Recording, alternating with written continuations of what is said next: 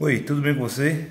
O que você está vendo aí é justamente a placa de identificação do motor de indução trifásico. Eu quero falar com você aqui sobre um dos tópicos aqui dessa parte de motores elétricos, né?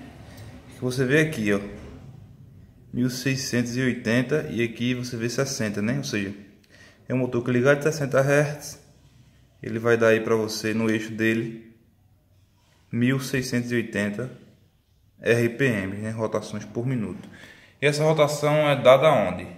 Aqui, ó, no estator desse motor, tá bom? No rotor desse motor, né? no caso aqui no eixo dele. Esses 60 Hz chegam aonde? No estator do motor, ou seja, através dos condutores aqui dele, tá?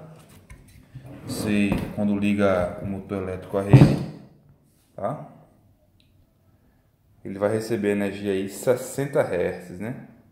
E com esses 60 Hz você sabe, a gente tem aí uma velocidade do campo girante no estator desse motor.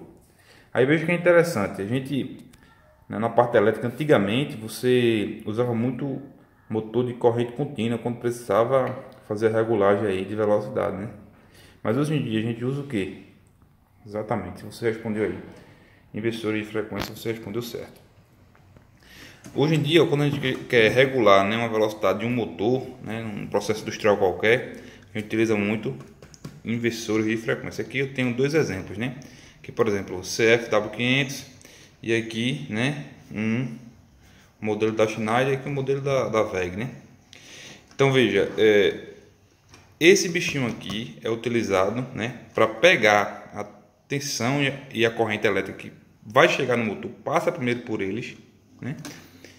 Para depois que chega no motor chegar não com a frequência como eu falei aqui da rede, tá? Da rede elétrica, mas sim com a frequência que eu disser aqui na parametrização. Por exemplo, se eu aumento a frequência na parametrização aqui, ele vai aumentar a frequência que chega no motor e consequentemente aumentar a velocidade.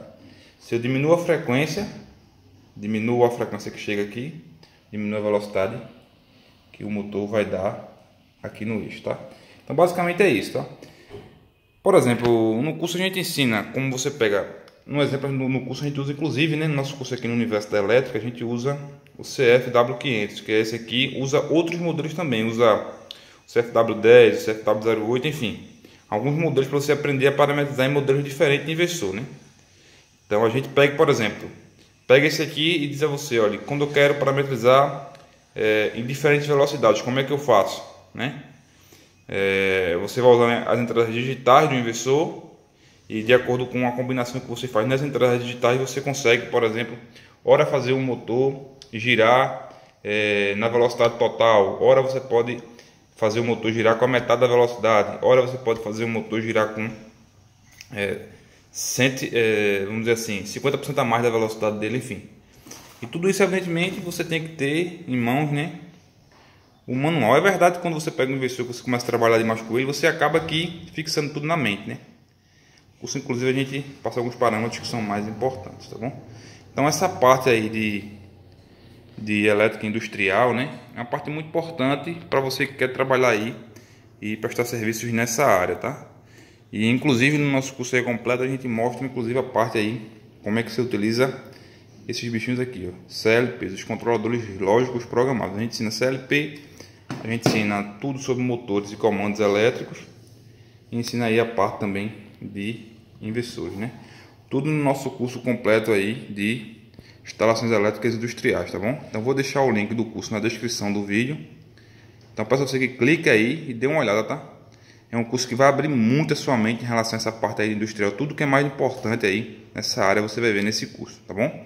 Curso completo e com certificado. Você vai aprender sobre comandos elétricos, motores elétricos, dispositivos utilizados na indústria, inversores de frequência, instalação, manutenção e parametrização, CLPs, programação né, instalação desses bichinhos aqui. Ou seja, você vai aprender tanto usar a parte das lógicas, né, quanto a parte de controle aí de motores elétricos também nesse curso industrial. Garanto para você, é um curso extremamente completo que vai te ajudar bastante aí na tua carreira profissional, tá? Seja você eletricista, seja você técnico, seja você engenheiro, tá bom? Então peço a você que deixe seu like aí no vídeo, tá bom? Deixe seu like e deixe o seu comentário aí. Se você, por exemplo, já trabalhou com essa área, você já trabalhou com essa parte de investidores, tem vontade de trabalhar, Vou fazer uma pergunta para você, tá? Você acha mais difícil você programar CLPs, fazer programas em CLPs ou parametrizar inversores? Qual dos dois você acha mais difícil? Parametrizar inversores ou programar, né? Fazer programação, por exemplo, linguagem nada, que a gente ensina no curso nosso. Você acha mais difícil? Parametrizar inversores ou programar utilizando aí CLPs? Diga aí, deixa a sua opinião, tá?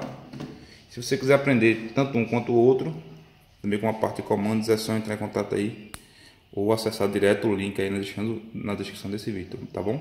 Quem falou com você foi seu amigo, professor engenheiro eletricista Jadson Caetano. Universo da Elétrica, curso de consultoria, a maior escola da elétrica online do Brasil. Um forte abraço e até a próxima.